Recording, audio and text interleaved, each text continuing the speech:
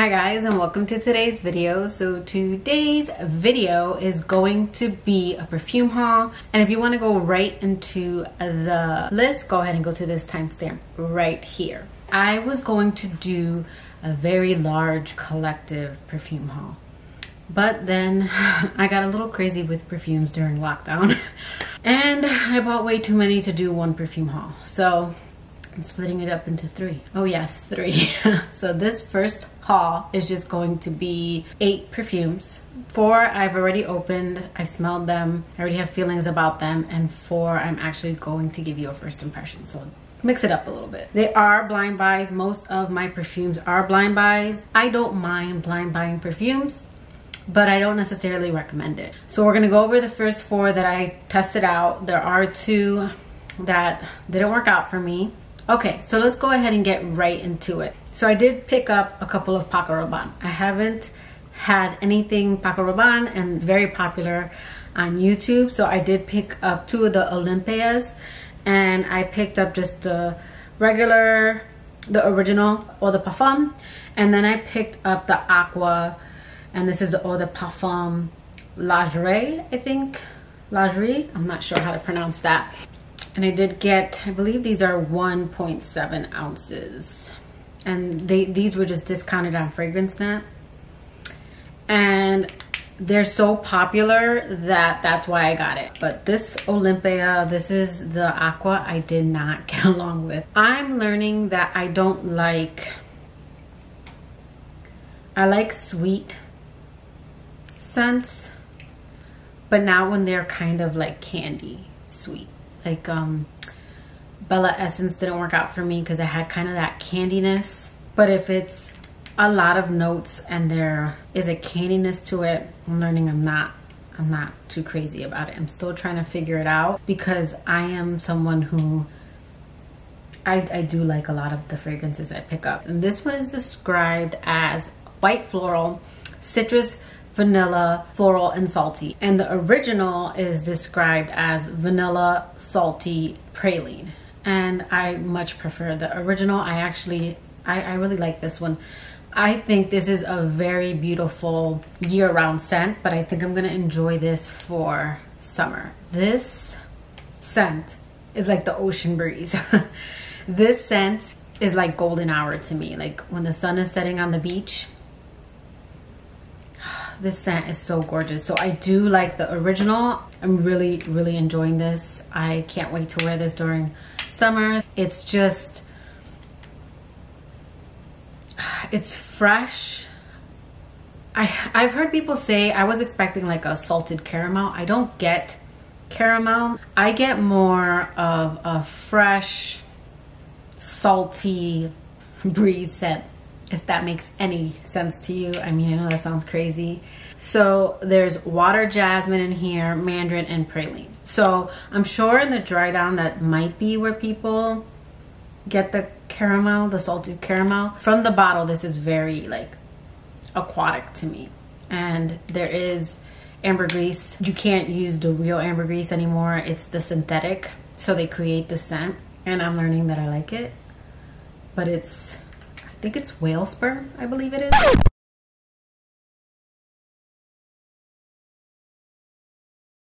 Whatever it is, I'm learning I like that No. So I really do like the original. I did not get along with this one. I am going to be letting go of this one. Again, I've had this already for a little over a month now and I've been testing them out and I just didn't get along with um, Olympea Aqua. So beautiful scents. If you like Olympea and you want an even more fresh, but I would kind of say candied scent. This comes off very candied on my skin. Now everyone's body chemistry is different, but this came off a little candy sweet on my on my skin. Okay, and then this was just a really cheap buy. I did my celebrity collection video and I talked about the J, like the J-Lo celebrity scents and I mentioned the, the J-Lux and the J-Lust and then I realized that there was actually an original, which is the J-Love. And I just happened to be shopping on eBay and saw this.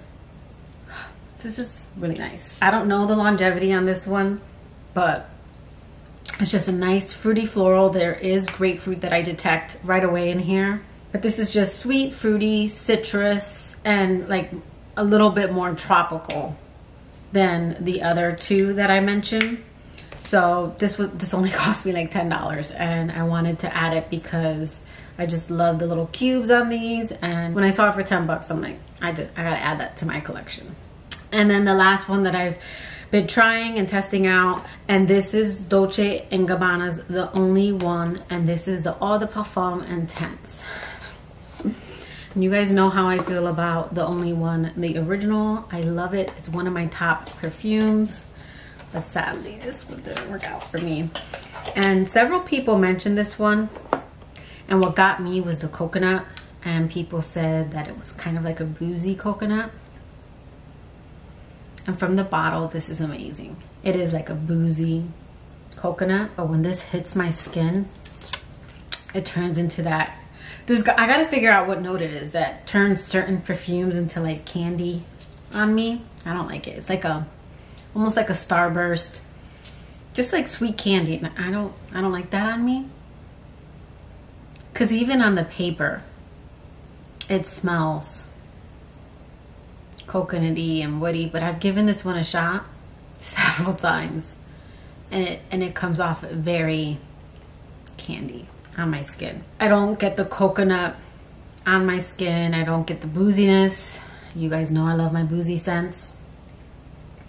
It's amazing in the bottle. It's just, again, with my chemistry, it didn't work out. So something you're going to want to smell in stores and also um, put on your wrist. I wouldn't suggest smelling it on a card or from the bottle because I quite enjoy it on this card, but and this one is described as white floral, vanilla, woody, citrus, sweet, and coconut. I wonder if it's the citrus with the coconut. I did look up the notes and neroli's also in here. And I feel like sometimes I don't like when two worlds collide. So I'm, I don't know what it is in here. That's just when they mix in together, it's not working out for me. But again, that's Dolce & Gabbana is the only one. And this is Eau de Parfum Intense. Sorry if you guys can hear my dog snoring. I ain't gonna wake him up. So, okay, and then next I did pick up some testers for like dirt cheap. And they came in these white box because they were testers. And that is Lalique Le Parfum and L'Amour Lalique. So this I've seen in several people's videos. But because of the, the bottle being so large, I just didn't feel like I needed it in my collection. But then I saw it, I want to say like 20 bucks. I know both of these were dirt cheap. And this one is described as aromatic, balsamic, vanilla, powdery, sweet, and fresh spicy. So I think this is going to be right up my alley.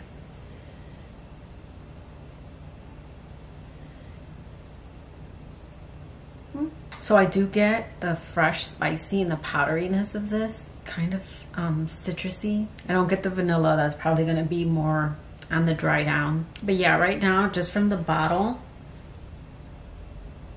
that's kind of, comes off kind of alcohol. Yeah, this this is different from anything I have. This is very fresh, spicy, woody. Could almost lean um, unisex I would have to see how this plays on my skin because you guys know that how it smells on the card. Let's try it. Okay, so this um, has Indian Bay bergamot. So that must be the citrus that I'm getting. Pink pepper, jasmine, heliotrope, almond. Okay, so this is like not a fruity floral. This is definitely, yeah, I can see why this is like balsamic and aromatic.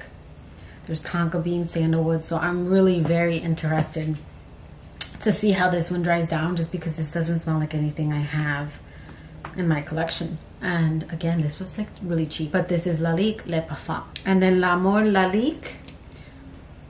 This one I think I'm gonna like. It's very pretty. Yeah.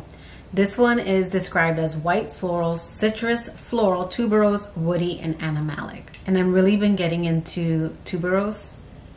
Now that I'm able to pick it up, the more and more I'm collecting, the more and more I'm able to pick up certain notes. So yeah, I'll have to follow both of these up maybe in a separate video. Okay, and now for my last two blind buys. So I've been collecting the Chance Chanel little bottles. I couldn't find this in a 1.2, which I was kind of upset about because I really love those little 1.2 bottles. But this is Chanel Chance OV, oh Biff.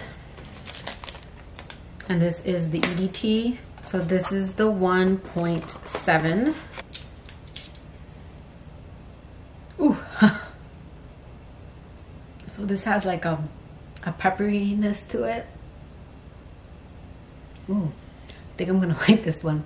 A lot of the Chanel Chance, the Chance Chanel line, they're very soft and um, understated, but very beautiful scents. This one's a little bit more lively. Mm, like a dry, fruity floral. But I could, it could be like maybe there's pink pepper in here because there's a pepperiness in here for sure. That almost dries this this fruitiness maybe grapefruit. This is like a refreshing, peppery, fruity floral. Like not your typical juicy fruity floral, but a little dry. Oh, this is really good. I think I'm gonna be happy that this is the one that I have in the large size because this is really good actually. There's gotta be grapefruit in here. Oh, so I'll have to follow this one up, but I think I'm gonna really like this one. This one is Chance Chanel Eau Vive. And then for my last one, and I got the two Chanel ones from Sephora during their VIB sale. I got them for 20% off, and I did again try to pick smaller sizes, and then I had a gift card, so I didn't pay a lot. And this is Chanel Paris Gabrielle. Oh. So this is the essence. So I tried the other Gabrielle in Ulta and I liked it, but it didn't wow me. And then when I started looking at reviews on YouTube, a lot of people said that the essence was actually nicer. So I did get the 1.2 in this. Oh my God, so pretty. How adorable is that? So guys, you know I'm a collector. I enjoy collecting smaller bottles because I want to get through it so it doesn't waste. There are a lot of perfumes I will not be re-adding back into my collection. And if it is, then once I waste it, I'll, I'll get the bigger one. Ooh, atomizer on that is nice. Ooh, I like this. White floral, clean, mature, but not too mature. I really like this one though. This is definitely a Chanel classy perfume. And this one on the card is definitely wowing me more than the other Gabrielle. I think there might be two tuberose in here because there is, again, white floral. It's a little sweet. This is just a very classy scent. It's almost, I don't want to compare this to number five because I still want to try Olu, I think it is, Olo and Prima. But it's almost like it gives me Chanel number five vibes, like a more modern version almost. Oh, I think I'm really gonna like this one. Again, I'll have to follow all these perfumes up. But yeah, guys, that was my haul. Eight perfumes, four of my initial thoughts on them. I hope you like this video. Let me know, do you guys have any of these? What are your thoughts on them? Do you like them? Do you hate them? And that will do it for today's video. I hope you liked it. If you did, please give it a thumbs up. And if you like me and haven't already subscribed to my channel, I would really appreciate it if you subscribed. Click the notification bell so you know when I upload. And until next time, guys.